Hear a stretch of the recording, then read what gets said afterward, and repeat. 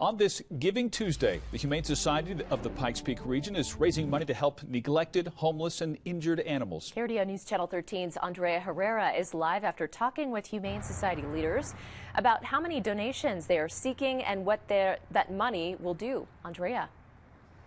Currently, there is about 100 animals inside the Humane Society at Pikes Peak in need of extra care.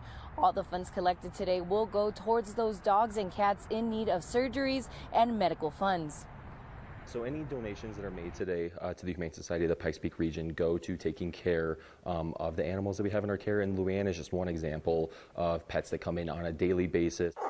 The Humane Society at Pikes Peak helps around 24,000 animals every year. Cody Costro with Pikes Peak Humane Society says taking care of each animal is expensive. Luann came to us uh, in August when she was only about four weeks old and she was tiny, uh, she was lethargic, she um, was underweight, and she had scabs all over her body. Within the last year, the cost of medical supplies and animal vet care increased significantly with record inflation prices, making it more difficult to keep pets like Luann happy and healthy. Luann's been with us for about four months, and she needs all that medical care and her, you know, her food and everything as well. On this Giving Tuesday, Pikes Peak Humane Society hopes to raise at least $45,000, and those donations will be amplified with MetLife Pet Insurance matching a good portion of the funds collected. And the really cool thing about today, too, is um, our friends at MetLife Pet Insurance are matching donations up to $30,000. So when you donate today,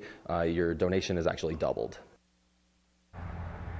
For all those who wish to donate or adopt, you could check out our krdo.com page right now. We have more information on that. Live in Colorado Springs, Andrea Herrera, KRDO News Channel 13. All right, Andrea, thank you.